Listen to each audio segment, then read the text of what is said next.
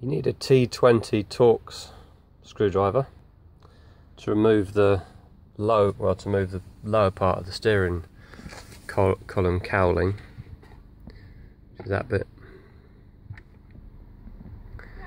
And the squib electrical connector is here. And in the centre you can just see at pin 4 and 5 there's an orange and an orange and yellow and those are the two wires that you need for cruise.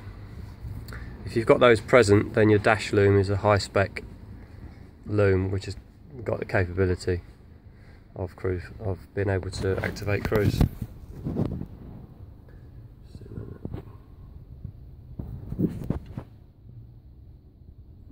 If you've only got four wires then you haven't got the, you know the, the ones in place and you'll have to add them